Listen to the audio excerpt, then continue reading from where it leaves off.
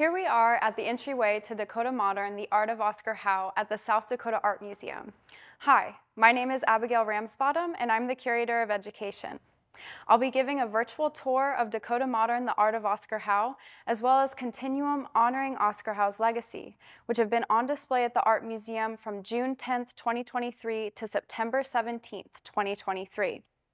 Dakota Modern was a traveling exhibition it first was exhibited at the National Museum of the American Indian in Manhattan. It then moved to the Portland Art Museum in Oregon, and its final destination is here in Brookings, South Dakota, uh, the state where Oscar Howe was born and lived most of his life. Now, this exhibition was curated by curator Kathleen Ash Milby, who currently works at the Portland Art Museum. But they were many folks who made this exhibition possible. I want to give big thanks to the National Museum of the American Indian, a Smithsonian institution, the Portland Art Museum, the Henry Luce Foundation, the Andy Warhol Foundation for the Visual Arts, and those who made Dakota Modern happen here at the South Dakota Art Museum. Thank you to First Bank and Trust, a generous anonymous supporter, South Dakota State University's Office of the President, and South Dakota State University's Wokini Initiative. Thanks to Venance and Deborah Lengkeek. Thanks to Meyer Orthodontics. And thank you to the Fantle Endowment Fund, Bill and Rita Larson Endowment for Education, Carol and Alan Bender Endowment, Dorothy and Jim Morgan, Craig and Della Cheddar, The Event Company, Ruth and Eric Brown, Marsha and David Shequin, Ruth Harper and Larry Rogers, Thomas and Sharon Haskell, Carol and Alan Johnson, Rick and Ria McEwen, Donna and Frank Merck, Lisa Skolton, the SDSU Alumni Center and SDSU Foundation, Harriet Swedland, TNR Service Company, Sharon and Gary Van Riper, Bonnie A. Levin in memory, in memory of Elsie Luth Levin, Jean and Tom Manzer in honor of Lanico Lee. And of course, as always, significant operational support for the South Dakota Art Museum is provided by South Dakota State University. Additional support is provided by the South Dakota Arts Council, and museum members and donors. Thank you everyone for your great support. Oscar Howe was Yanktonai, Dakota. He was born in 1915 at Joe Creek on the Crow Creek Reservation, which is in between Chamberlain and Pierre along the Missouri River. And for much of Oscar Howe's life, he lived along the Missouri River of South Dakota. His, those exceptions are he served in World War II. He also left the state to study art, both at the Santa Fe Indian School as well as uh, the University of Oklahoma. Now, Oscar Howe proved that he was simultaneously embedded in modern art and customary Oceti Sakowin aesthetics. Here on this wall, we see his early style.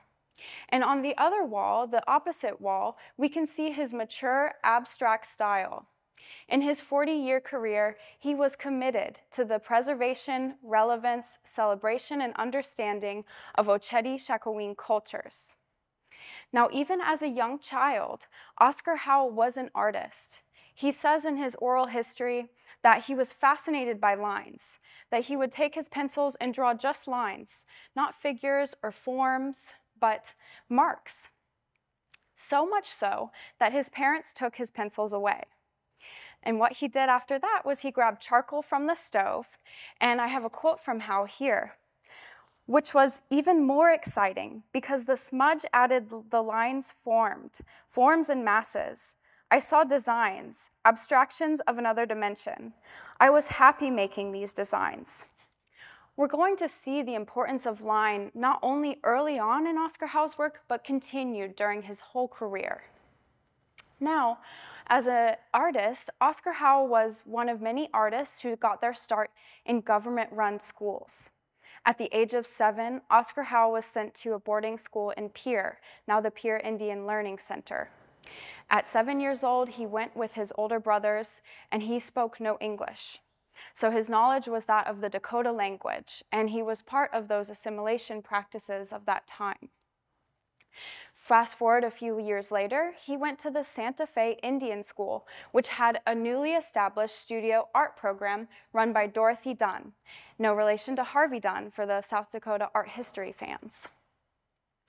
And what the studio style aimed to do was to train contemporary Native artists of that time in a very particular style that was influenced by Pueblo pottery design as well as Plains ledger art.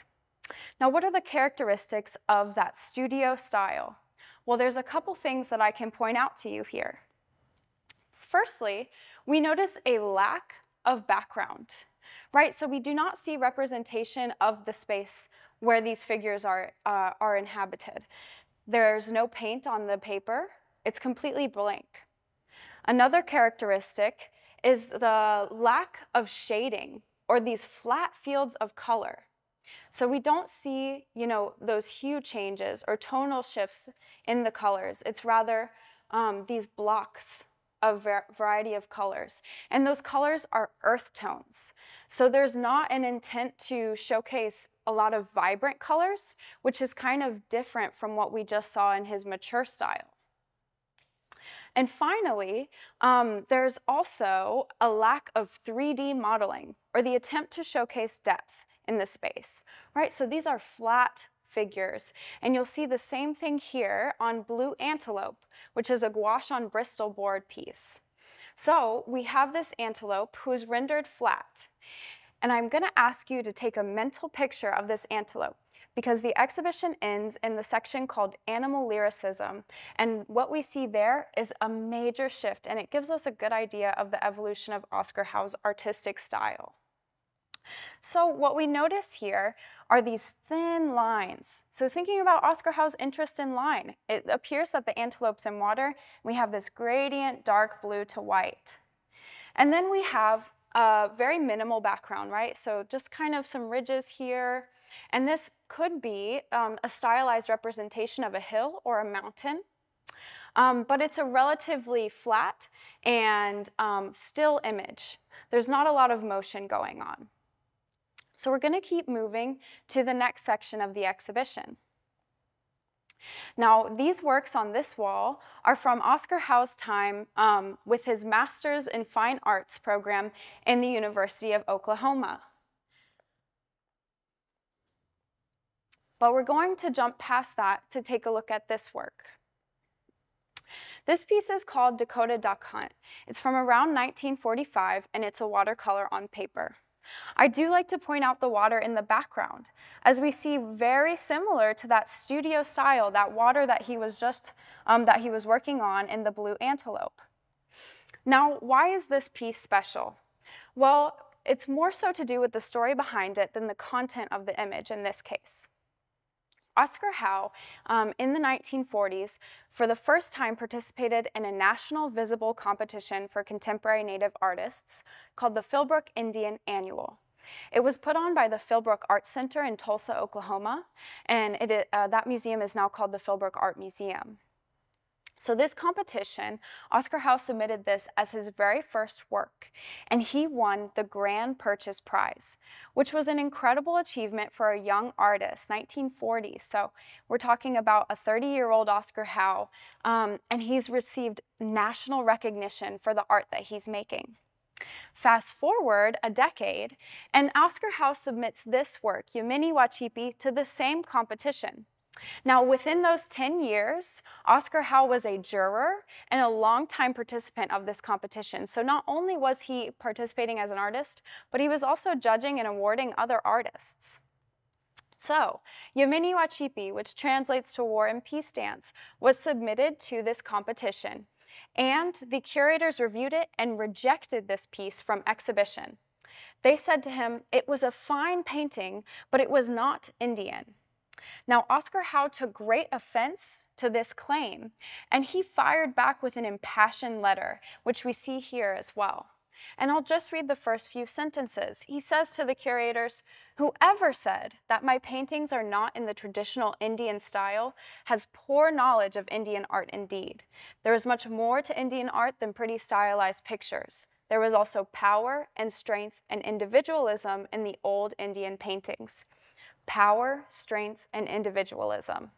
So Oscar Howe was rooted in his belief that he was practicing those traditional Dakota aesthetic approaches.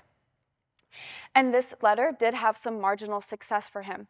So the Philbrook Art Center responded by opening up a few more categories. I believe one of those categories was called non-traditional art, to accept works that were more akin to this piece. So we only have a reproduction here because um, this piece is now missing.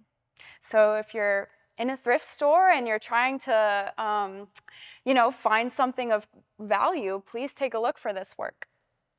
It was purchased by a private collector named Ann Forbes. And Ann Forbes then, then donated it to a nonprofit, and that's where the Provenance Trail ends. So we're not sure if this work even exists anymore, um, but that's why we have this reproduction. So this work, Yamini Dance, is not meant to serve as a stand-in, um, but rather depict something similar. So it's semi-representational, right? We have figures in a space, um, and we do see some similarities, right? This big ovular shape that we just saw in the last one, perhaps to represent a teepee. And then these rhythmic um, lighter colored lines, which could represent the rhythmic drumming or to create the, the feeling of sound in a visual artwork. We're going to keep moving to the next section of the exhibition.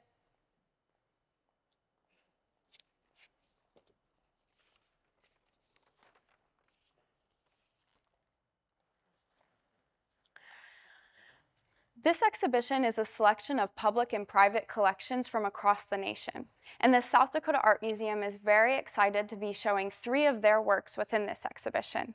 Dakota Medicine Man, a 1968 casein on paper piece, is one of the works from our collection.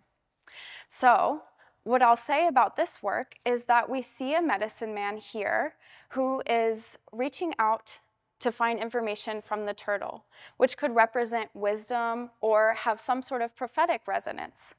We see the smoke and his interest in line with that smoke, right? Moving about the canvas. We also see a major shift from Oscar Howe's studio style, right? So I mentioned in that studio style of art, there's no background. Well, here we have a completely full painting, right? There's no space left blank. And as Howe transitioned into this style, he, he talks about um, his interest in negative space. And this is what Howe says, quote, I work the negative areas or the background in non-object design, and then allow lines to bring out the positive areas, the foreground, the figure, or the focus. In other words, the negative lines present and suggest the positive ones. It is my belief that the negative areas or background areas or patterns should be as beautiful, if not more beautiful, uh, than the positive or foreground areas or patterns. So as we think about Howe as an artist and his technique, we have to remember that he was very interested, almost more interested in what was going on around the edges, around the background, that would amplify the messages or the imagery that he was trying to impart. And with that, I'll mention that this section is called the storyteller. And this is a large section, so much of the exhibition uh, discovers or um, displays Oscar Howe as a storyteller.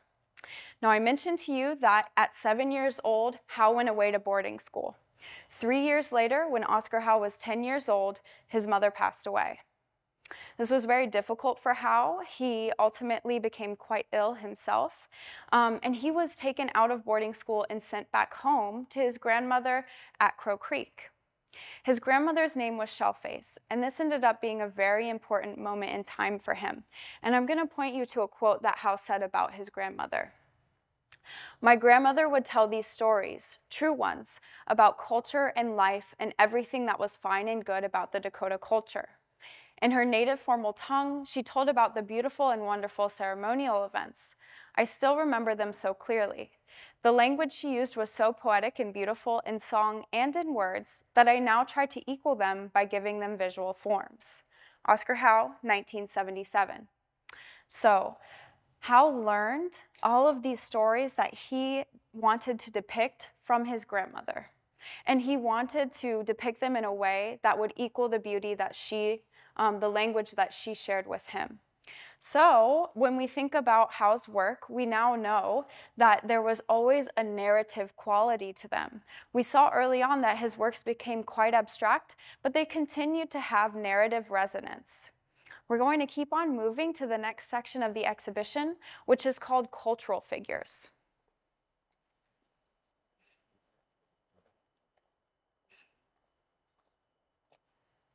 So Oscar Howe, as a storyteller, wanted to depict the cultural figures um, from the Dakota culture, largely from Oceti Sakowin cultures, um, but also he was an active Episcopalian. So we'll also see some, some Christianity uh, or Christian iconography in this exhibition as well. I wanted to point to this piece, which is called Skin Painter.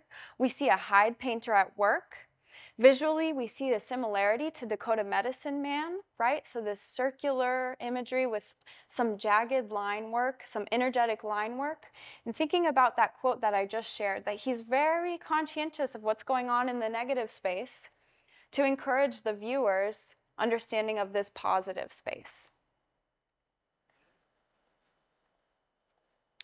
On this next wall, we take a look at a work called Calling on Wakantanka.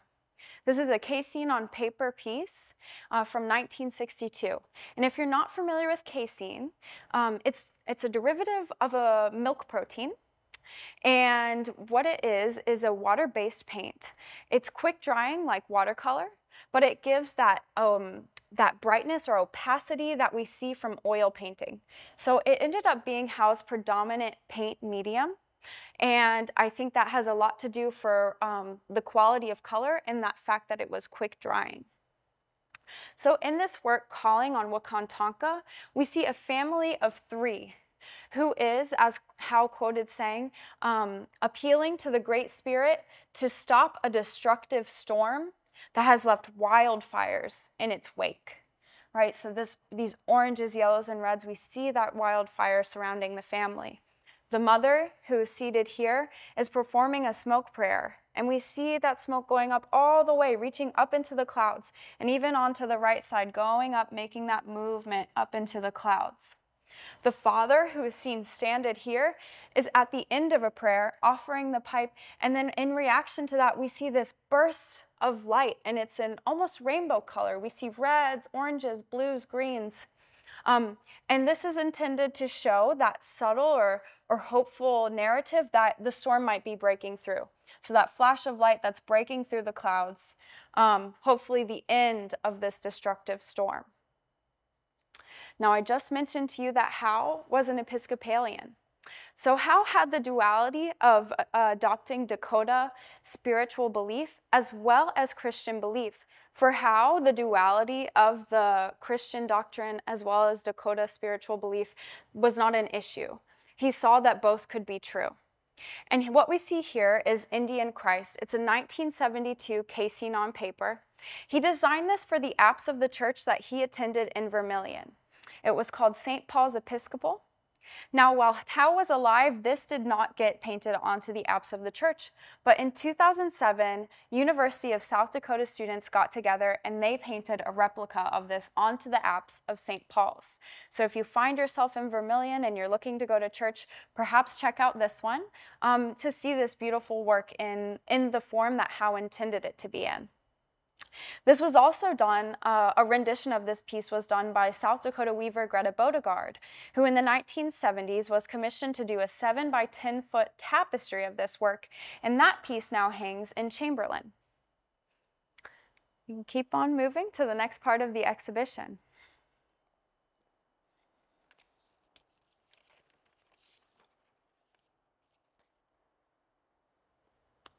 Now, it was not common for Oscar Howe to depict true historical moments, especially when they had the lens of critique or commenting on racism.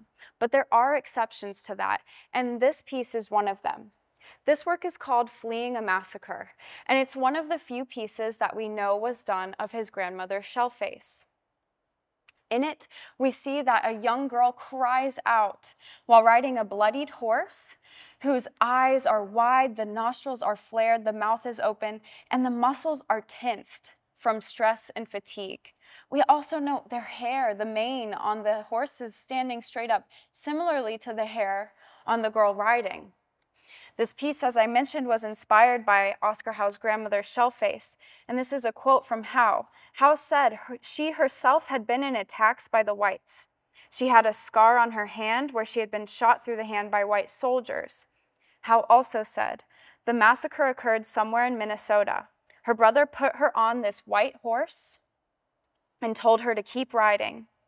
So it's possible that Howe's family descended from the survivors of the 1860s forced relocation of the Dakota people from Minnesota to Crow Creek, South Dakota, following the U.S. Dakota War of 1862 in the New, New Ulm area of Minnesota.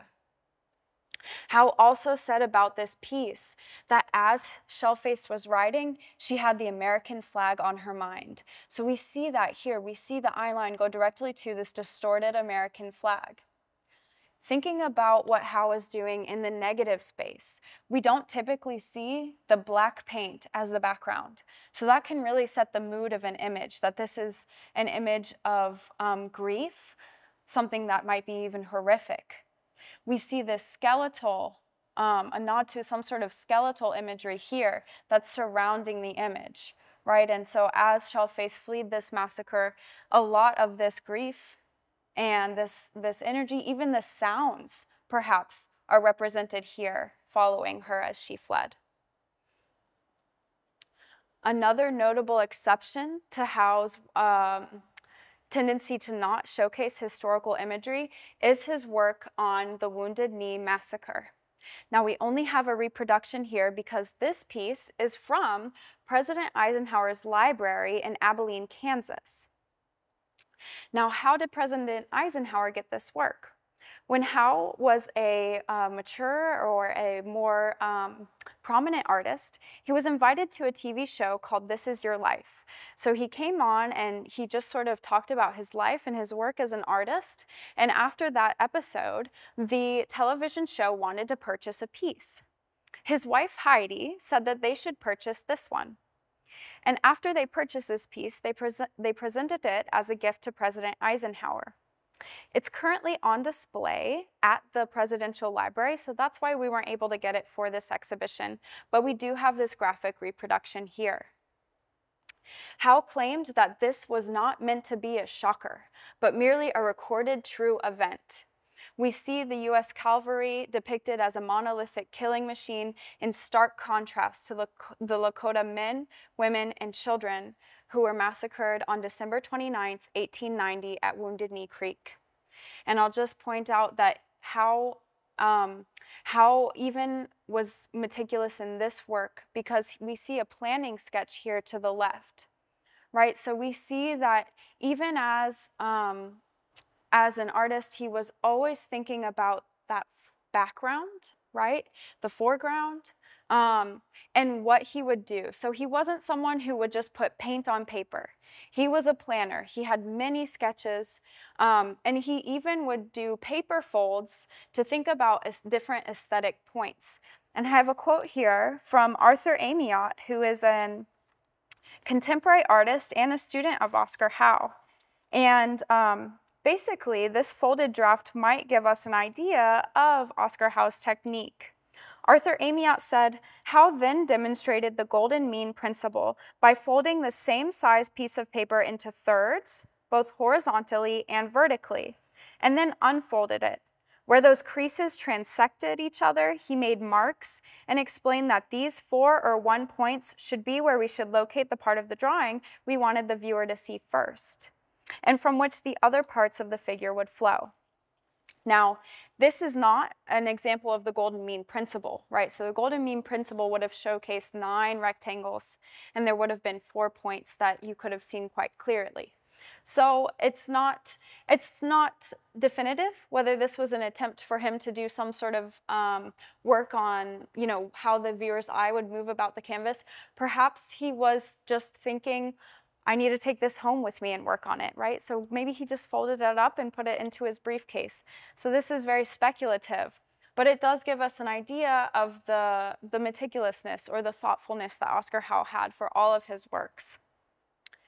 Now we'll move on to the next section, which is Oscar Howe's Public Works section.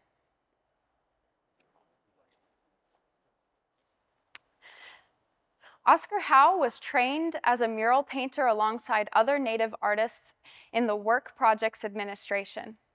The WPA gave him his first commission in 1940, and it was of this um, building, the Carnegie Library in Mitchell, South Dakota.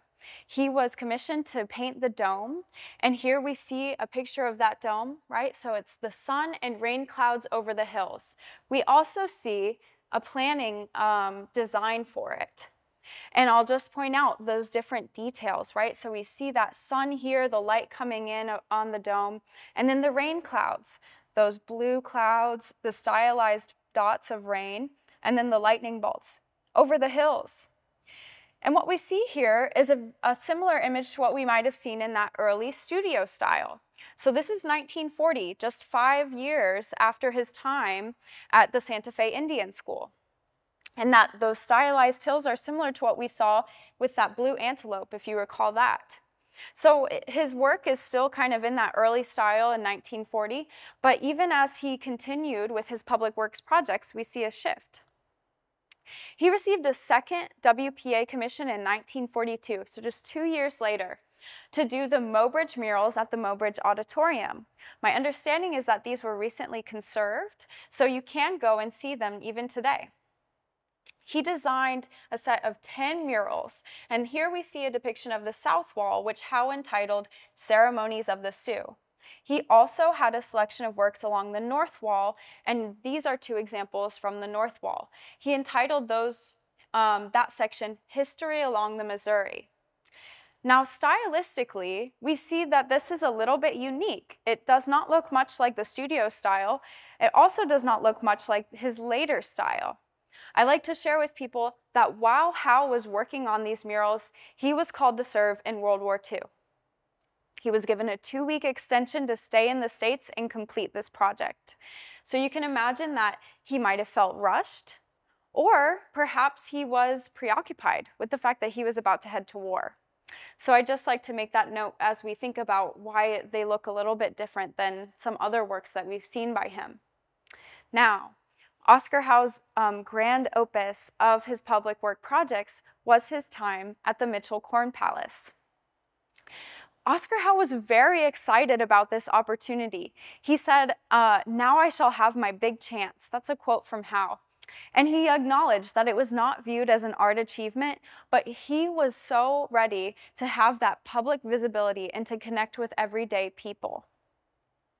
So what Howe would do, and I'll invite you to come closer and look, what Howe would do is he would make these maquettes. He would do designs for the facade of the corn palace and annotate what color corn to use. So we see dark red, light red, red, and white. So he had the opportunity to use four colors of corn, and he would instruct the installers in this way. We also can see this grid pattern around his works.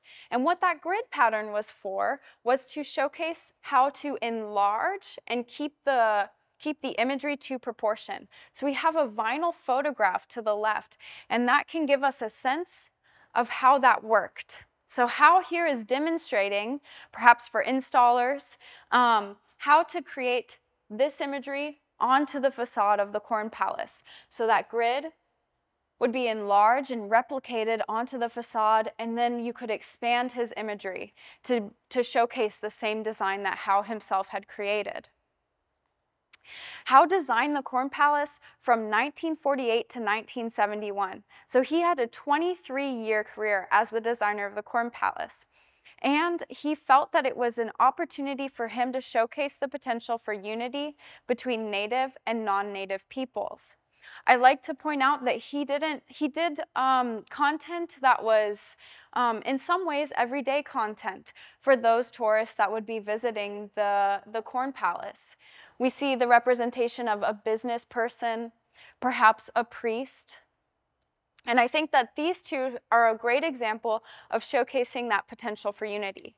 So people, uh, all people can come together um, with certain ideas. And one of those things that we can come together on is dance. So here we see three male dancers, and below we see the example of a barn dance. So Howe had this opportunity to to depict, you know, quotidian or everyday commonalities between all peoples. And he, he took that opportunity at the Corn Palace. So we'll keep moving on to the next section of the exhibition. I forgot to take this cover off. So you get a bit of a sneak peek. Um, part of the stipulations of this exhibition are that some works have to be completely covered when we are closed. And what that, the reason for that is because a lot of these works are works on paper, and that means that they're quite light sensitive. So some of those works that are particularly light sensitive have to be covered from any light coming in while we're closed. So it's thinking about museum best practices and the safety of Howe's artwork. Now this room is a really lovely room for a couple reasons. In this space, we get to see Howe's practice in high school, all the way up to his mature style in the 60s, right? So when he's in his, his 50s. Now, another reason why this room is special is because of the subject matter. So Howe returned to certain subjects that he found particularly interesting, whether for their representational potentials or because of the cultural references or the importance that he saw in those. So one of those subjects in particular uh, was that of the sun dance, particularly the moment when the dancers break free from the poles in a moment of transcendence. Now, I like to contextualize this by noting that during parts of Howe's lifetime, the sun dance was made to be illegal. So thinking about Howe as someone who was really trying to preserve, um, make relevant, celebrate, and understand Oceti Sakowin cultures, um, we can think about how certain things he might have documented with that mindset of making sure that things remained visible even when they were attempted to be silenced. Now in this high school rendition of this subject matter, we see that we're kind of far away as a viewer. The dancers are in those flat fields of color, right? That's something that I mentioned from that studio style. The background is a little bit sparse, and then we have these blank spaces where there's no paint whatsoever. Even moving forward, we're becoming a little bit closer to the scene. We have a representational background, still somewhat stylized in that studio style. We see some teepees in the background but it's still relatively a conventional space. Continuing to move forward, perspective has shifted greatly. So now we're moving even closer until we get to that 1965 work of the Sundance, where that the viewer sees directly beneath looking up at the pole. We see the dancers in a swirl of ecstasy, and that sun is just pulsating with the reds, oranges, and yellows all around right? In those dancers, we see the hair moving all the way even in this section as well. So we get to see this moment of transcendence and how, as a mature artist, we can also see how successful he became in, in his desire to partic depict particular uh, imagery. So I always like to say in this section, if you're in high school and you're not super happy with where your art is right now, just think about in three decades where your art could be. So we'll keep on moving to the next section. And, and as we move toward the end of this tour, we begin to see Howe's work take a geometric and abstract shift. So much so that some of his works appear to be completely abstract. Now I say appear because Howe maintained uh, his uh, narrative qualities in his work. So he was always a narrative painter. And we look at this work and we see a riot of fractured reds and yellows and many geometric shapes. And what helps us know what's actually going on is the title that Howe has left us, Courting. It's a 1970 casein on paper. And courting um, speaks to traditional plains custom that where um, a man could visit a woman underneath the privacy of a blanket so acceptable courting practice. And now, looking at it with that knowledge and the title courting, we might be able to see that this blanket does hold two figures, right? So that left and that right. And perhaps we're seeing the sun or the light in that um, negative space that Howe was so interested in. Now, there's a quote on this wall, and um, it's from Oscar Howe in 1981. He says, I have been labeled wrongfully a cubist. Now, as his space became more fractured, um, people thought that Howe was practicing cubism.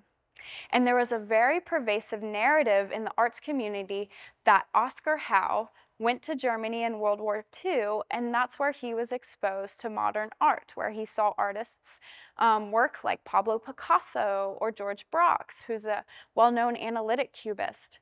Now, Howe, we know that's not true for a couple reasons. Uh, one is that Howe went to art school. So even though he wasn't living in Europe, he was aware of the art movements that were going on. Secondly, Howe maintained that he was practicing um, the traditional Dakota aesthetic approaches that his artistic forebearers practiced, and that was called Tahokmu. Now, it's sometimes called the spiderweb design, but it's not a one-to-one -one translation.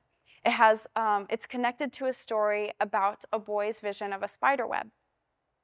But what it was and what Oscar Howe taught to his students. We heard from Donald Montileaux and Brian Akipa a story about how Howe taught um, this Tahokmu method. So we would have students look at a blank sheet of paper and then let points emerge and then mark those points and connect them with line. I can equate this by thinking about if you look up at a light and then close your eyes, you might still be seeing that light. So thinking about letting those aesthetic points emerge, and we actually have an example of Howe's process on this wall over here. So this is Howe's process wall in the exhibition. And here we see an example of how practicing the spider web design. You might have even seen a little bit of this design in some of Howe's backgrounds or even in some of his works. So we see aesthetic points emerging and all of the lines that Howe would use to connect them. So remember I said right at the beginning of the tour, Howe had this childhood fascination with line that would continue on forever. And we see that in this, this style, in this aesthetic approach that he used. We also see his meticulousness, his focus on those planning sketches, um, and everything that came before a final painting. Now I'll just point you to a couple of the pieces over here. So, um, yes, there is a visual similarity to analytic cubism, but the process getting there was much different than what those European modernists were doing. Here we see Dancers, a 1969 work, and we do see that instead of that three-dimensional modeling, we're almost back to that studio style, where there's just flat um, figures on a canvas. But now those figures, those dancers, have become so abstract that they're on one single plane of geometric shapes of varying colors. I want to also point out the texture Maybe you've noticed this in other works that you've seen of Howe's. There's a lot of texture going on in the paper. Now what Howe would do is he would soak his paper and then he would stretch it. So he would do this practice and when it would dry, it would create these wonderful ripples that added a lot of dimension to his work. So that was one of his techniques. Now we're going to move on to animal lyricism. I told you to remember that blue antelope from the beginning because you can see the culmination of his animal representation in this final section.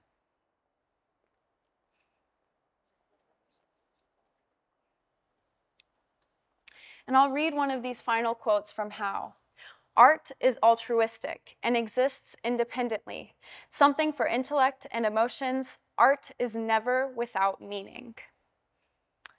Oscar Howe turned to animals for inspiration many times. Sometimes it was cultural referencing, other times they were standalone subjects. And in Deer Dance in particular, we see the culmination of all his different practices. Thinking back to his childhood time, we see his use of line really prominently in the representation of the flora in this image.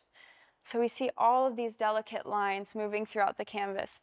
We also see a nod to the studio style. Although it's quite a departure from the studio style, we do see these flat fields of color that's representing the rocky landscape that the deer are dancing or moving about on. Thinking about how, as someone who's very conscientious of the negative space, we see beautiful blues, greens, browns in this um, background that amplify or nod to the creatures in the foreground, right? And we even see some of those color connections. We have this deer with some grasses in its mouth. But we are quite departed from the studio style in the sense of that blue antelope who was flat and who was in this profile view now we have all sides of the deer depicted. We see the back, the side, the front, and we also see that they are in motion. This is a dynamic image. And we see many different colors and shading to give that um, three-dimensional modeling to these deer. And similarly, we can see um, Howe's culminating style in fighting bucks. So we see this wonderful tangling of antlers. We see the eye of one of the bucks bright and wide, and then this flurry of energy surrounding them. So this can this negative space again lends itself to that really intense energy and movement that's going on with um, what we might have seen before, fighting bucks in the forest. And finally, I'll take you to horses. This is another work from the South Dakota Art Museum. So thinking about dynamism and movement, we have this circle, circular motion of the horses, right? And we look at their, um, their faces as they move. So they're pointing our eye to kind of take a clockwise circle. But we also have this really frantic energy of the manes, right? So it's almost like Howe was scratching back and forth with his, with his paintbrush. But we see this really lovely and intense movement of the manes, giving us an idea of like just how much these horses are moving about the space. We don't know what landscape they're in, right? So there's not much of a representational background, but we do get the sense that these horses are taking a very quick movement. Now the last piece of this exhibition is this work here. It's entitled, He Came From Fire, and it's a 1965 work. And I'll point you to the quote next to it. This is our art. And here is where we are making our last stand. The least we can do is fight this battle, that Indian culture may live forever. Oscar Howe truly catalyzed a movement um, for Native artists to have their own artistic individuality and to do work um, that wasn't assigned by a school or by outside, um, outside institutions. Now, Oscar Howe's legacy can be seen today in the Native American artists who are practicing abstraction or um, figurative work as well. Howe was a teacher to many, and those students are represented in our next exhibition, Continuum Honoring Oscar Howe's Legacy. Oscar Howe proved that you could be simultaneously modern while embedded in traditional Oceti Sakowin aesthetics. Um, and he had great success breaking the mold and doing something different. He was an activist, right? So either in his letters or in his promotion of um, his rights as an artist to depict what he saw fit, um, as well as an uh, incredibly accomplished painter. So thank you so much for taking this tour with me today, and I invite you to come into the next section with me, Continuum Honoring Oscar Howe's Legacy. All right, so after you walk through the Dakota Modern exhibition, you're brought to the next gallery, which is called Continuum Honoring Oscar Howe's Legacy. Now, we formed a committee of trusted advisors and asked the question, what would you like to see and experience alongside the Dakota Modern exhibition? The notion of Oscar Howe's legacy became the centerpiece of those conversations. So in this way, we invited a selection of Oscar Howe students to select pieces where they felt that Oscar Howe's legacy was shown while showcasing their own artistic and creative talents. Continuing this notion of continuum, um, we had those students select their proteges. So in this way, we have many generations of Native artists feature who are in some way touched by the ripples of Oscar Howe's legacy.